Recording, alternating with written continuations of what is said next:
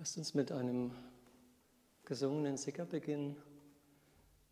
Er heißt äh, Angel Sicker, der Sicker der Engel und wurde von Moshe Chahabodin komponiert. Okay.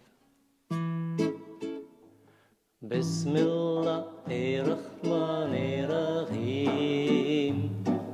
Bismillahirrahmanirrahim.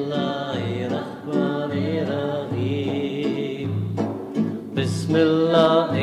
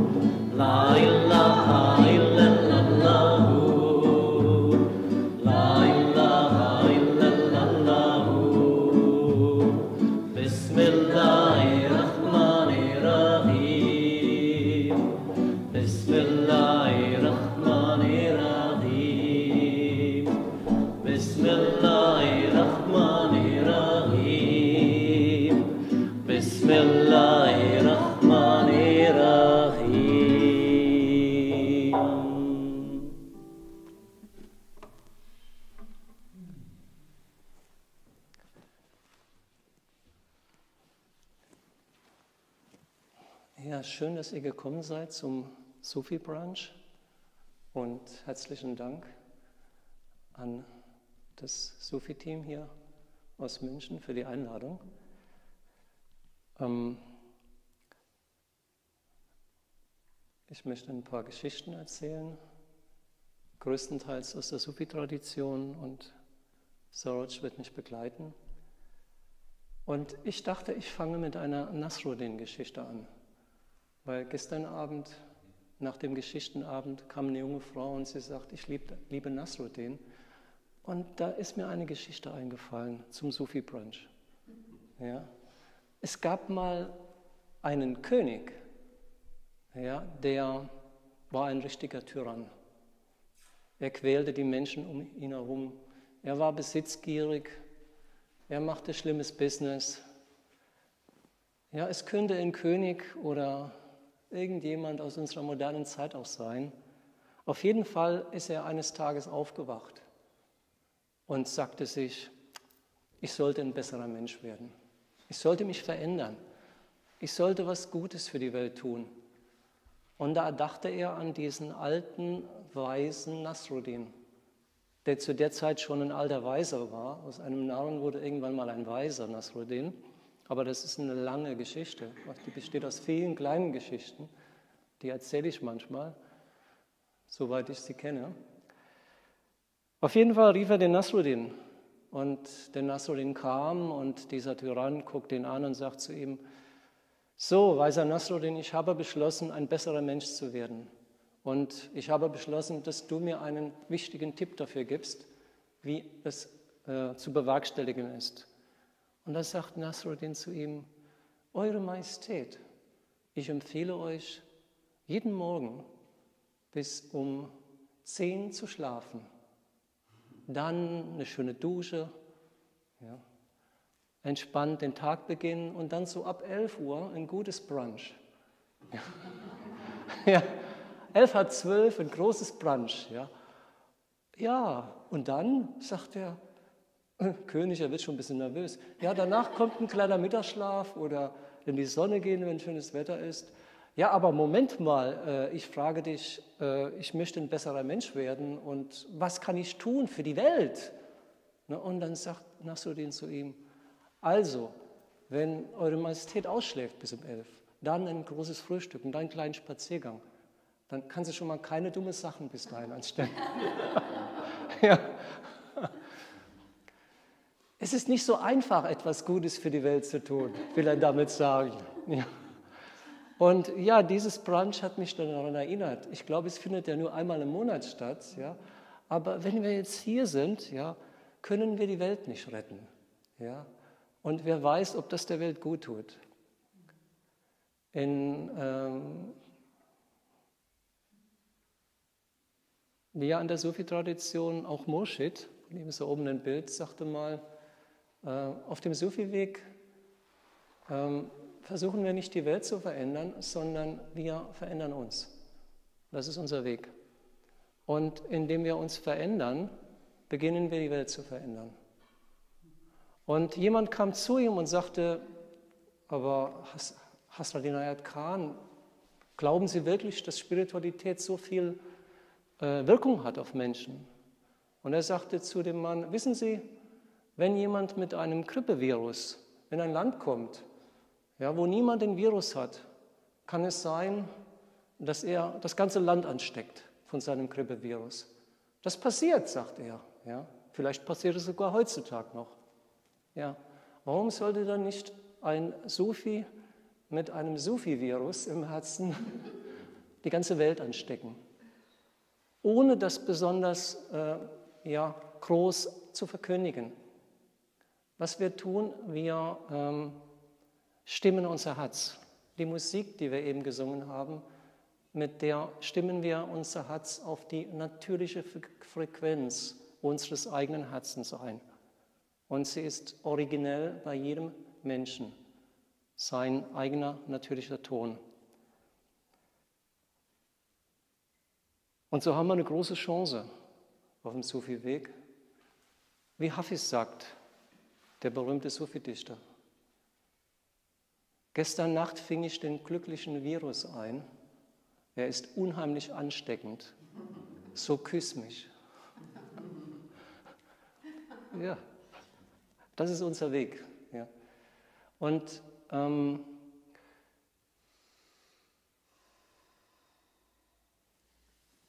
es, gibt die, ähm, es gibt eine Geschichte vom, vom Guru Nanak die würde ich gerne erzählen.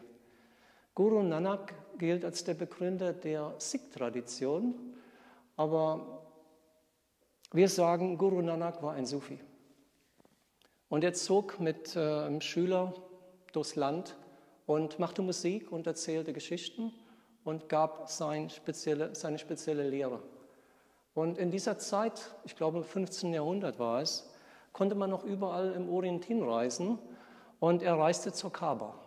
Also er reiste zu spirituellen Pilgerplätzen in der damaligen Welt. Und er war ja kein Muslim. Heute können wir da nicht mehr hinreisen, wenn wir keine Muslims sind. Aber er konnte hinreisen. Und da kam der große Imam von Mekka zu ihm und sagte zu ihm, Guru Nanak, ich habe gehört, dass äh, du den Palast Gottes kennst, dass du den Palast Gottes gesehen hast. Solche Dinge erzählen die Menschen von dir. Bitte sag mir, wie sieht er aus, der Palast Gottes? Ich möchte es gerne wissen. Hat er irgendeine Ähnlichkeit mit der Kaaba oder so? Und Guru Nanak sagte, der Palast Gottes sieht so aus. Er hat neun Tore. Er hat zwölf Türme und er hat 52 Zinnen. So schaut er von außen aus und dann gehst du hinein und im Innersten, da ist ein wunderbares Zentrum, das Herz des Tempels. Und dort wohnt Gott. Es ist unbeschreiblich in Wahrheit. Aber weißt du, was es tatsächlich hier und jetzt ist? Und der Imam sagte nein. Und Guru Nanak sagte, ich beschreibe dir nur den menschlichen Körper. Der menschliche Körper ist der Palast Gottes. Schau, es gibt die neun Tore, die Öffnungen des Menschen, die Augen, die Ohren, die Nasenlöcher, der Mund und die beiden unteren Öffnungen. Es gibt die Türme, ja, die Handgelenke, Unterarm, Oberarm und Füße, Unterschenkel, Oberschenkel, das sind die zwölf. Und was sind diese 52 Zinnen zur Verteidigung? Die Krallen, die Zehennägel, 10, 20 und dann die 32 Zähne, falls du noch 32 Zähne hast. Aber dieser Körper, dieser Palast Gottes, wenn du hineintrittst und gehst ins Innerste, ins Herz des Tempels, dort ruft das Göttliche in dir. Es ruft dich so, wie du gestimmt bist, je nachdem, wie dein Herz gestimmt ist. Und wenn es auf den natürlichen Ton deines Wesens gestimmt ist, dann kannst du die Stimme Gottes hören. Und dann bist du verbunden. Moschitz sagt, selig ist der, der den göttlichen Ruf vom Minarett seines Herzens hört.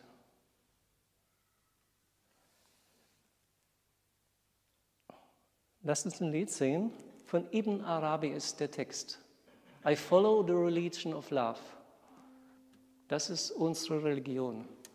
I follow the religion of love, das könnt ihr gleich mitsingen. Und dann äh, kommen noch einige weitere Zeilen. Welchen Weg auch immer die Karawane nimmt, es ist meine Religion, es ist mein Glaube. Which way the caravan of love will take. Also es ist auf Englisch. Ihr werdet es gleich mitsingen und dann kommt noch ein Stück, dass ihr einfach zuhört, ein Teil davon.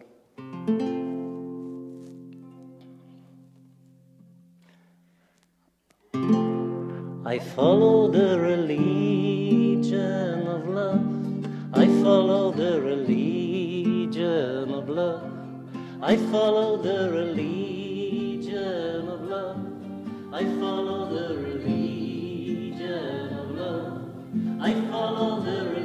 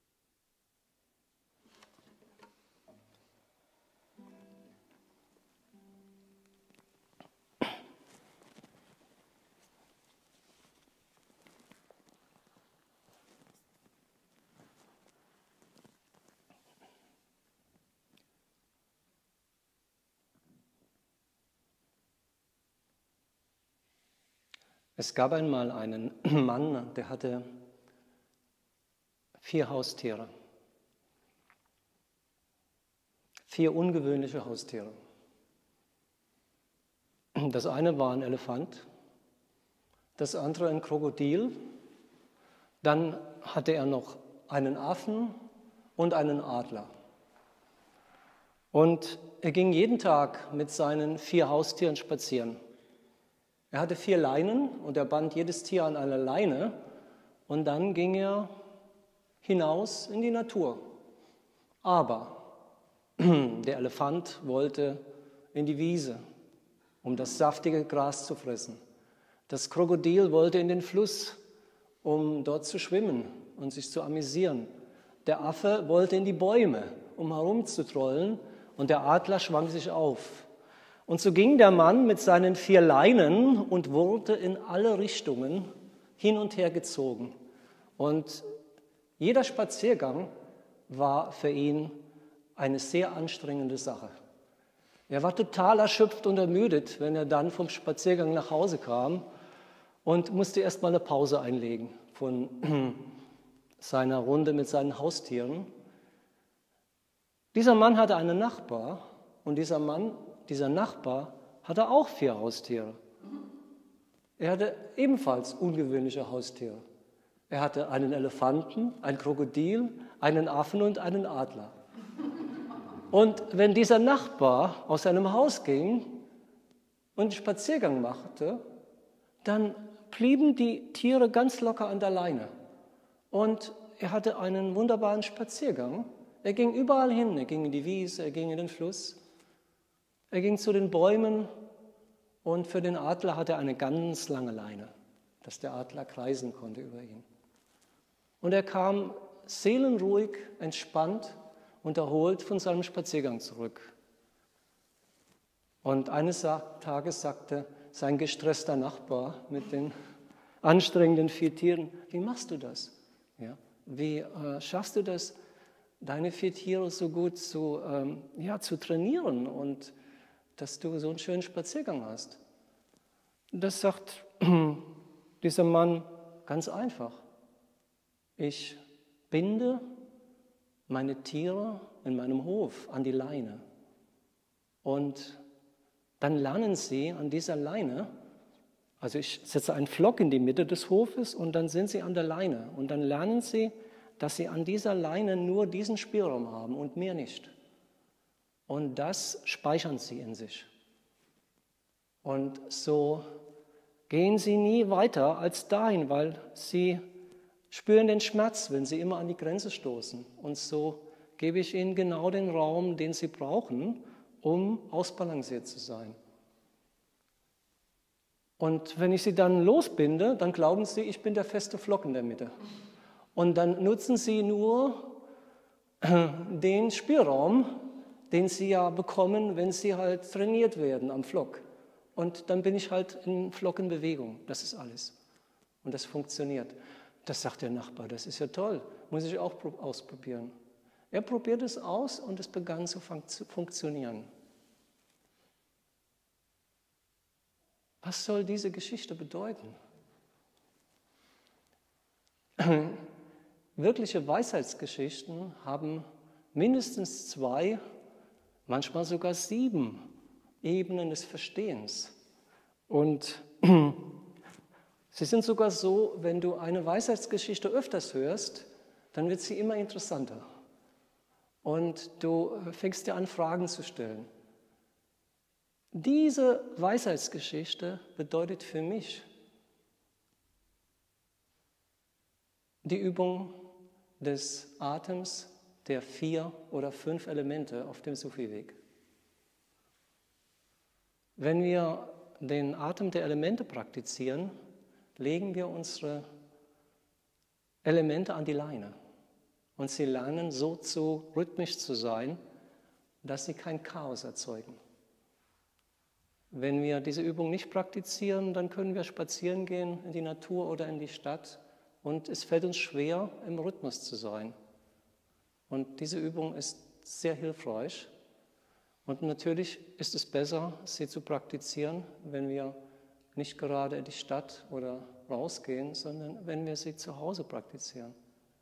Und deswegen würde ich gerne diese Übung jetzt mit euch in einer kleinen Meditation, äh, noch mit dem, ja, mit dem Schlussteil, jetzt praktizieren.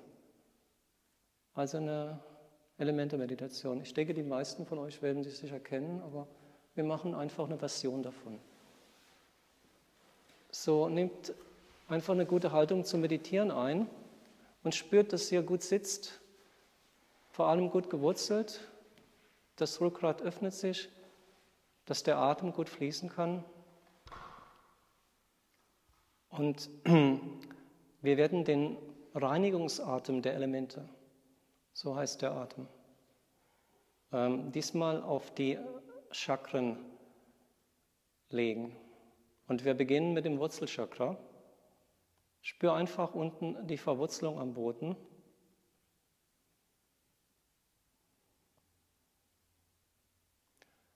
Werde dir deines Atems bewusst und spüre die Verwurzelung.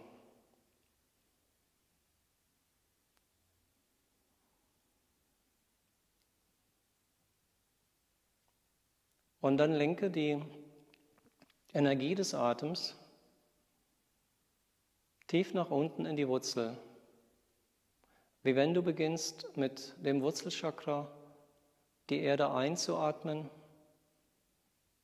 und dann von der Wurzel wieder in die Erde zurückzuatmen und dabei durch die Nase ein- und ausatmen.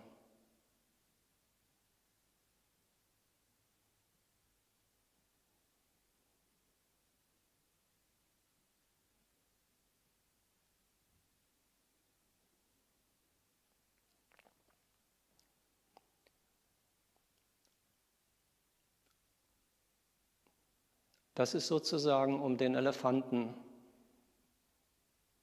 in dir zu stabilisieren, ihn zur Ruhe zu bringen. Wurzel ein, das Wurzelchakra öffnet sich, nimmt die Erdenergie auf, die Ruhe und ausatmen, erden.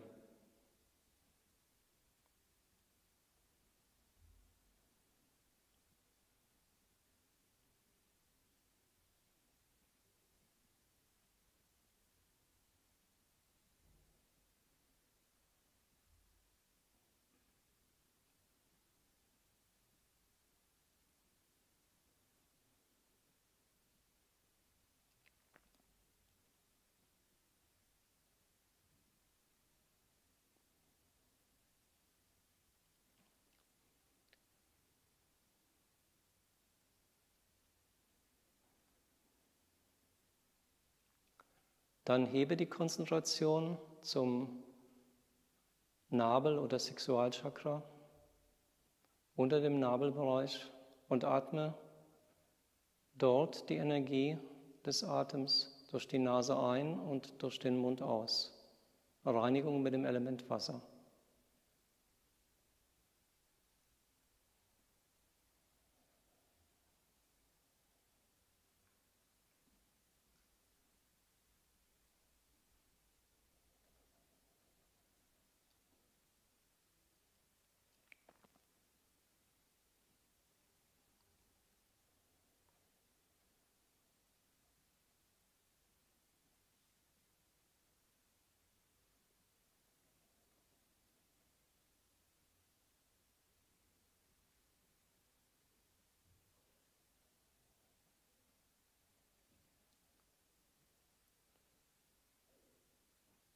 Das Krokodil.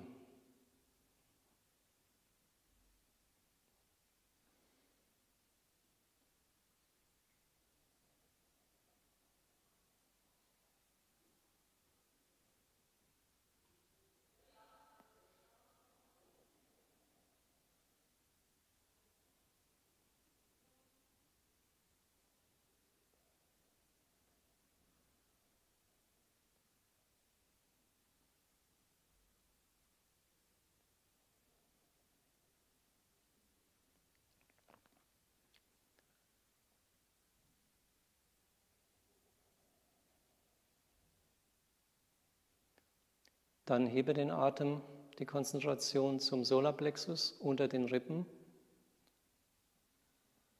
und dort durch den Mund einatmen und durch die Nase ausatmen, die Energie. Das Einatmen durch den Mund ist wie ein Feuer trinken, Ausatmen durch die Nase wie, ein, wie den Rauch ausstoßen. Aber du aktivierst das Feuer am Solarplexus. Und es verbrennt, was verbrannt werden soll. Mund ein, Nase aus.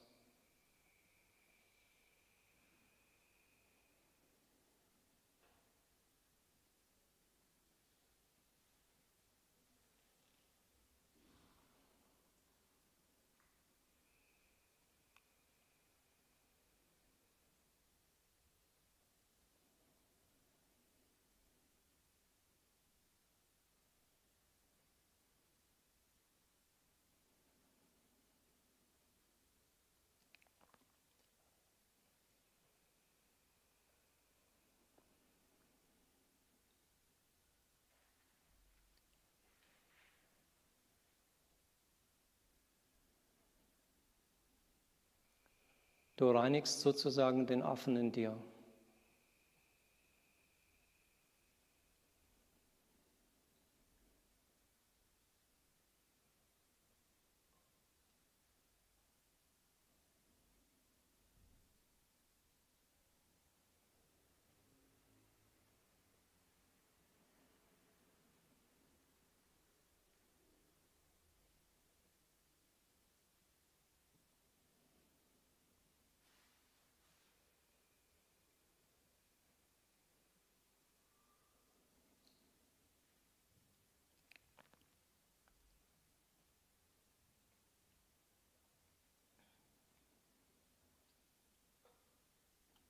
Dann hebe den Atem in, in die Brust, in die Mitte der Brust und atme dort einen leichten Atem durch den Mund ein und aus.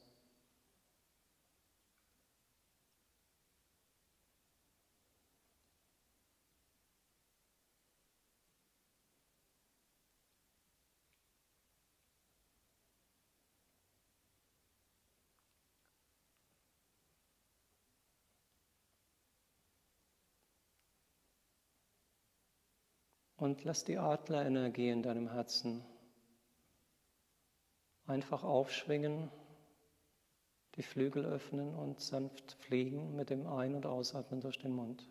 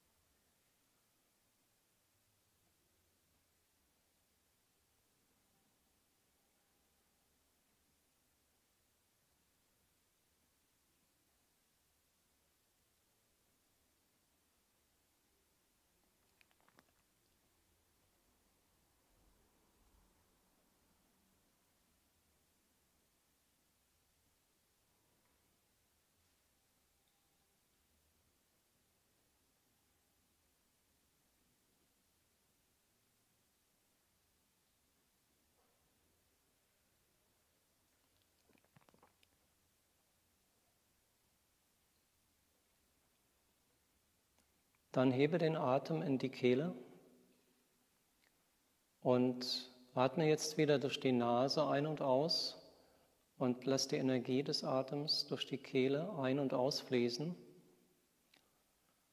Mach dabei die Atmung durch die Nase ganz fein, so fein und so sanft, dass du gar nicht mehr deinen eigenen Atem spürst. Oder hörst, dieser feine Atem, der Ätheratem, ist die Quelle und die Essenz der vier Elemente.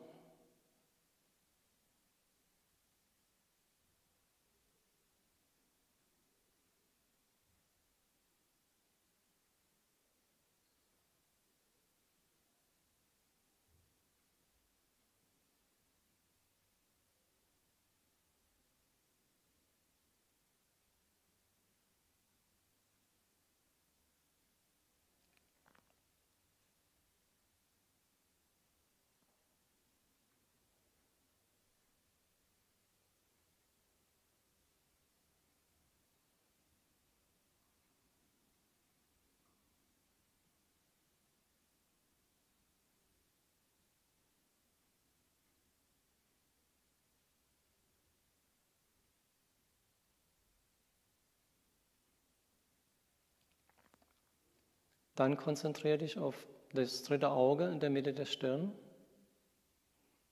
und auf die Krone vom Kopf aus in den Himmel. Versuche deinen Atem noch feiner, noch transzendenter zu machen und atme diese feine Energie direkt durchs dritte Auge ein und atme durch die Krone in den Himmel aus.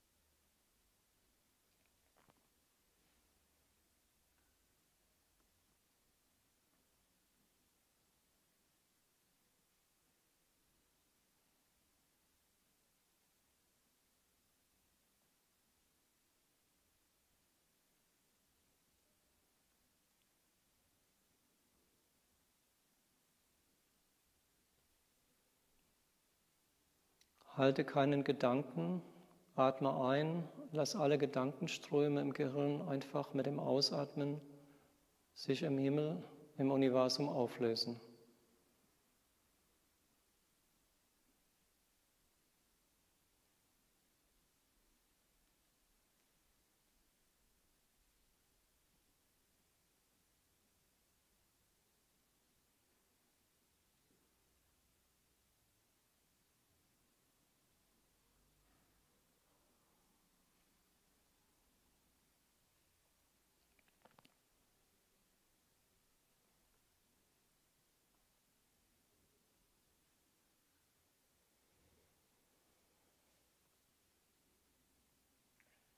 Und schließlich atme durch die Krone ein,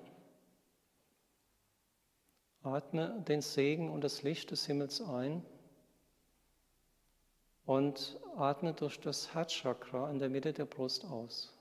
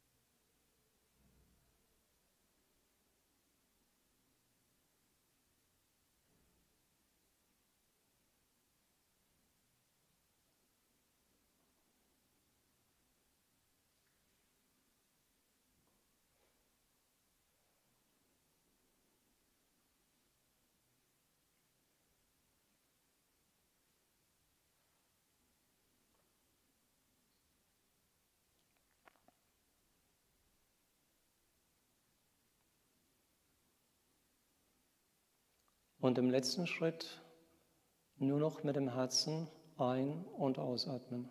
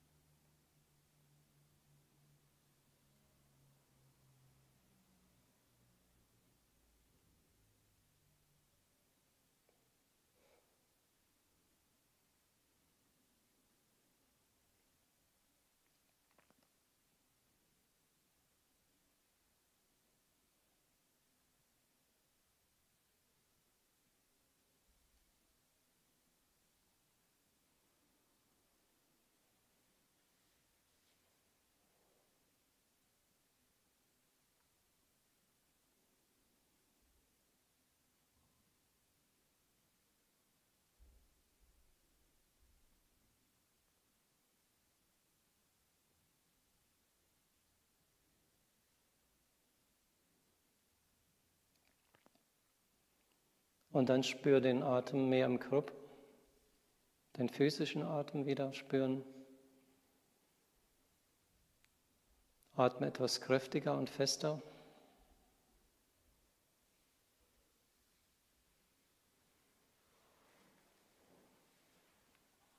Die Augen öffnen.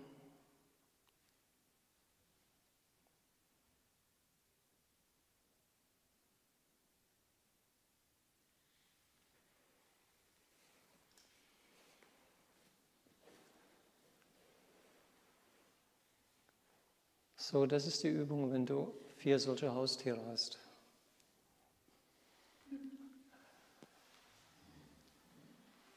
Okay, lass uns was singen. Hm? Um, Rising Tide Cigar. No? Tu veux pas?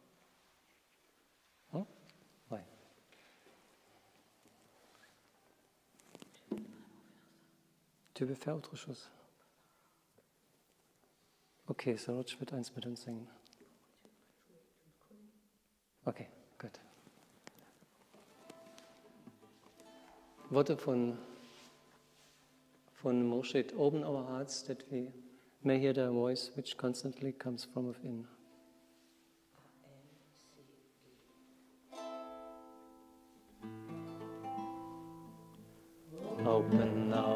That we may hear thy voice, which constantly comes from within. Open our hearts that we may hear thy voice, which constantly comes from within.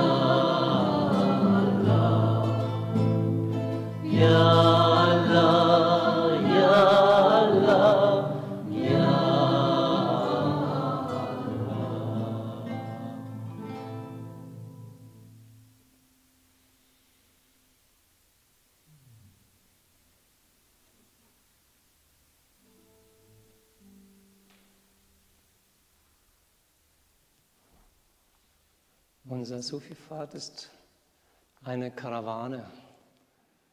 Und wir ziehen gemeinsam, wir treffen uns an Oasen, wie zum Beispiel Yawali und Wir trinken und essen zusammen und tauschen Geschichten und Lieder und Meditationen aus und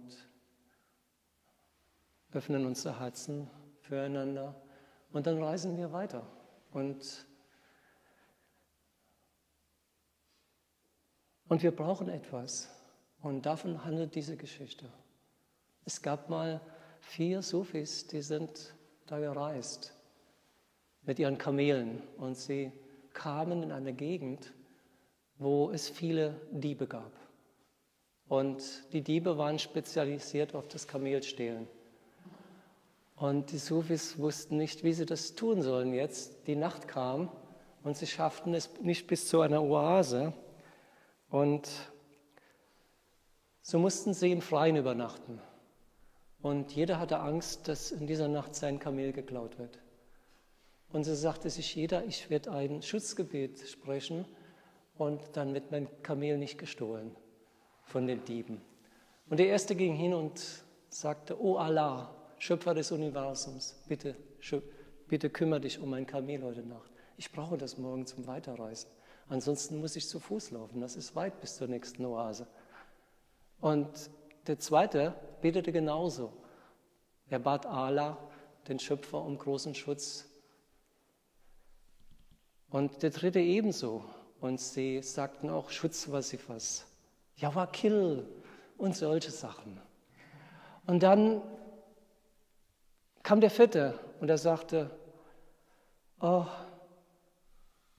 Murshid, mein Murshid, bitte kümmere dich heute Nacht um mein Kamel. Wen soll ich sonst fragen? Ich frage dich, bitte schütze mein Kamel. Murshid, mein Murshid. Und dann legte er sich auch hin. Und sie schliefen alle vier. Als der Tag kam, das Licht des Tages kam, sahen sie nach dieser ganz dunklen Nacht, was geschehen war. Und drei riefen, mein Kamel ist verschwunden, die Diebe haben mein Kamel gestohlen. Nur ein Kamel stand noch da. Und das war tatsächlich das Kamel des Sufis, der an seinen Moschid betete. Und die anderen sagten, wir können das gar nicht verstehen. Wir haben Allah, den Schöpfer, gebeten, dass er heute Nacht sich um unser Kamel kümmert. Und du hast nur deinen Moschid gefragt. Und dein Kamel ist nicht gestohlen worden. Und dann sagt er für dich, ich habe meinen Moschid gefragt, weil mein Moschid passt auf mein Kamel auf. Ja, aber macht das Allah nicht? Das sagt er, wisst ihr, Allah hat nachts so viel zu tun. Glaubt ihr, er könnte sich auch noch um eure drei Kamele kümmern? Aber mein Moschid, der hat nur ein paar Schüler, ja, der gibt nur ein paar Leuten Guidance. Der denkt an mich ja, und der beschützt mein Kamel, wenn ich ihn bete. Wir haben Helfer, ja, die uns auf dem Weg führen. Sei es Moschid, sei es ein Guide. Manchmal hat Gott zu viel zu tun und wir können uns nicht immer auf ihn verlassen. Wir können uns immer auf ihn verlassen, aber manchmal ist es besser, so zu denken und zu handeln auf dem Sufi-Weg. Die nächste Geschichte ich muss noch eine erzählen. Wir müssen noch ein bisschen aushalten, bis es das Brunch gibt. Handelt auch von vier Männern, aber von vier Weisen. Und die ist mir jetzt eingefallen. Ähm, und sie passt auch zum spirituellen Weg. Sie hat eine ganz besondere Weisheit. Es gab drei Weise, die ähm, wanderten runter über die Alpen hier, wir sind in München über die Alpen, runter nach Italien und suchten ein Schiff. Und das Schiff sollte sie ins Heilige Land bringen. Sie wollten eine spirituelle Reise machen. Und da war ein Captain, der sollte Waren ins Heilige Land liefern und von dort Waren zurückbringen. Und sie fragten ihn, kannst du uns mitnehmen?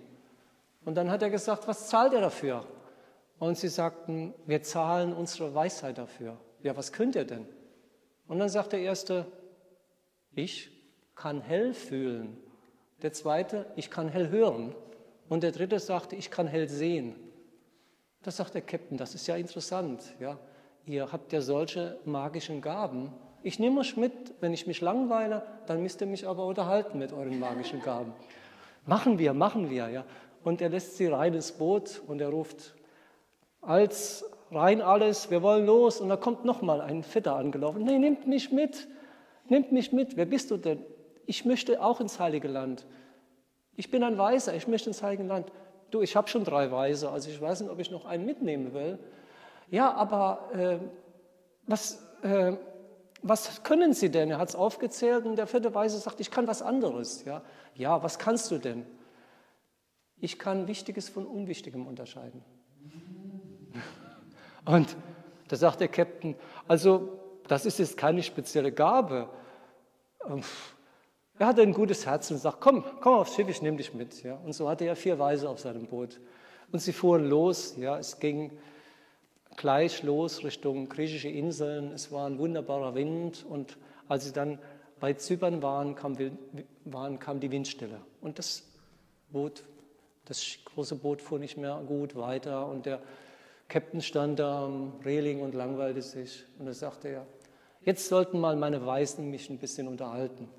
Und er rief sie, da kamen die drei Weißen zu ihm und er sagte zu ihnen, jetzt erzählt mir, was ihr äh, gerade wahrnimmt, so vom Leben. Was gibt es Besonderes, was geschieht? Und dann stehen sie da, öffnen Augen und Ohren und andere Sinne. Hört ihr die Glocken? Und dann sagt auf einmal, der der hellhörig ist, oh, ich habe gerade gehört, wie eine goldene Haarspange auf den Boden fiel, ins Gras. Irgendwo ganz weit, ganz weit habe ich es gehört. Und dann sagt der zweite, oh, ich fühle, ich fühle, es ist ein Schmerz da. Der Schmerz kommt vom Herzen einer jungen Frau. Ich glaube, es ist irgendeine Art von Prinzessin oder so. Ich fühle und es ist von großer Bedeutung. Und dann sagt der Dritte, ich kann sie sehen. Es ist die Prinzessin von Udaipur in Indien. Und ich glaube, dass die Haarspange ist ein Geschenk zu ihrem 18. 18. Geburtstag. Und der Captain steht da und weiß nicht, was er von den Gaben der drei Weißen halten soll. Und dann schaut er zufällig rüber auf die andere Seite des Bootes und da steht der vierte Weiße und langweilt sich völlig. Hat das alles mit angehört und langweilt sich.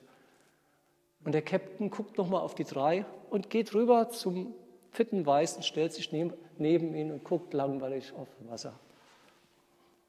Und so kommt irgendwann wieder Wind auf und sie landen im Heiligen Land. So, was immer diese Geschichte heißen mag, der Captain hat was verstanden. ja. Und diese Geschichte erzählt viel vom spirituellen Weg und hilft uns eine ganze Menge. Ja. Es gibt viele Dinge, die sind gar nicht so wichtig. Ja. Aber wichtig ist, dass wir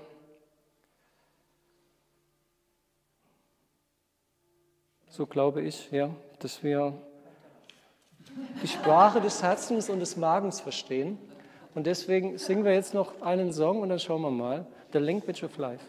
Ja, die Sprache des Lebens.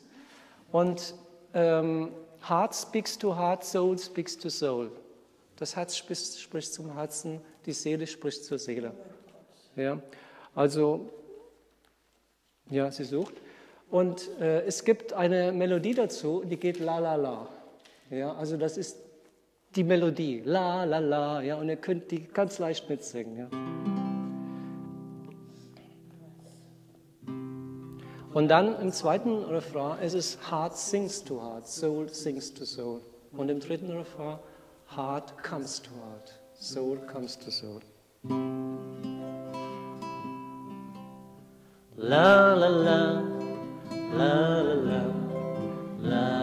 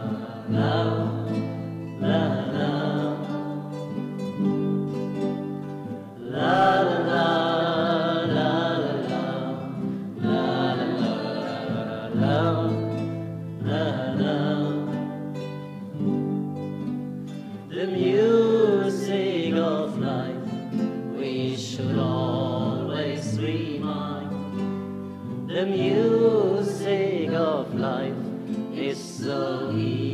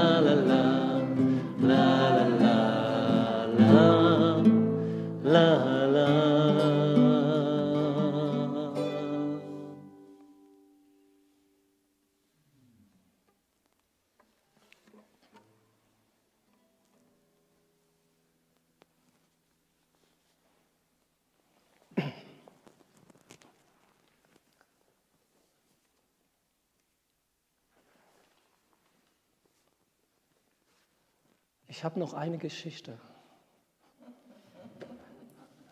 Sie ist mir gerade gekommen. Ja. Sie hat zu mir gesprochen. Für irgendjemanden hier im Raum ist sie, das weiß ich. Ja. Aber es ist eine Zen-Geschichte. Eine Zen-Geschichte. Der Gouverneur der, dieser Region in Japan ging sonntags zum Zen-Meister. Und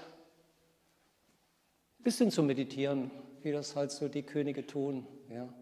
Und diese Geschichte schließt ein bisschen den Kreis heute. Sie hatten wieder ein bisschen mit Nasruddin und dem König zu tun. Damit haben wir angefangen. Ja. Dieser Gouverneur kam und hat da Zen-Meditation mitgemacht und dann sagt er hinterher zum Zen-Meister, darf ich bitte mit dir sprechen unter vier Augen, unter Männern? Sagt der Zen-Meister, ja. Und sie gingen in den Nebenraum mit dem Tee und sitzen da und dann sagt der Gouverneur, jetzt lass uns mal von Mann zu Mann reden. Ja. Also es ist ja schön und gut, was wir hier machen, aber ähm, Jetzt ich, muss ich dir mal sagen, was ich von dir halte. Ja, sag's mir bitte. Also ich finde, du schaust aus wie ein alter Esel, sagt der Gouverneur zu dem alten Zen-Meister. Aha, sagt der Zen-Meister. Also ich finde, du schaust aus, du hast so ein Lächeln, so ein bisschen, ja, deine Buddha-Natur kommt langsam, seitdem du meditierst, etwas mehr zum Vorschein. Und dann sagt der Gouverneur jetzt zu ihm, hey, hör mal zu, ich habe dich gerade einen alten Esel genannt. Und ich könnte sogar sagen, dass du ein bisschen stinkst, ja. Also äh, wirklich, du bist ein alter, stinkender Esel in meinen Augen. So, und jetzt gib mir ein Feedback. Und dann sagt der Zen-Meister, weißt du, du hast Buddha-Natur in dir und äh, das wächst, das geht weiter. Ja? Also ich sehe, du entwickelst dich hervorragend. Und dann klopft dieser Mann auf den Tisch und schreit, du alter Esel, jetzt sag endlich mal zu mir, was du wirklich von mir hältst und stell dich nicht so dumm an, jetzt habe ich dir mal die Wahrheit gesagt. Und dann sagt, der, dann sagt dieser alte Zen-Meister zu ihm, wahrhaftig, ein echter Buddha. Ja. Er kommt langsam aus dir zum Vorschein. Und dann sagt dieser Mann völlig entrüstet, dieser Gouverneur, jetzt hör mal zu, ja, ich nenne dich ständig einen alten, stinkenden Esel und du siehst in mir immer mehr Buddha-Natur. Wie kann das sein? Das sagt der Zen-Meister. Weißt du, ein, ein Buddha, ein Mensch, der zu einem wahren Buddha wird, der seine Buddha-Natur entdeckt, der sieht überall nur noch Buddhas. Und ja, ein Esel sieht halt überall nur Esel. ja, so. Jetzt können wir uns entscheiden, was wir sehen, ja? Diese Geschichte ist die Herausforderung zum Abschluss. Ja? Okay? Oder willst du noch eine Musik, Saraj? Nee. Gut. Dann ähm, machen wir ein Prayer, vielleicht ein Prayer zum Essen. Ja, machen wir das hier? Hat jemand eine Melodie zum Anstimmen? Was Spezielles? Bitte? Ja, welche? Welche? Lass sie uns singen. Hast du einen? Sustainer of our bodies, hearts, and souls, bless all, bless all that we receive in thankfulness.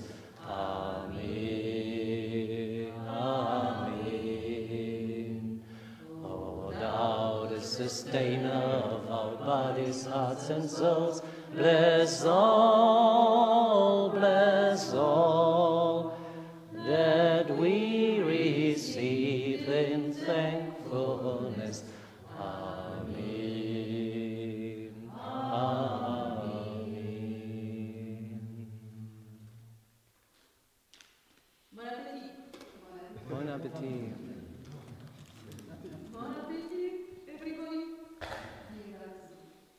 Dankeschön, dass ihr gekommen seid. Danke. Danke, Saroj. Vielen Dank, Saroj. Okay.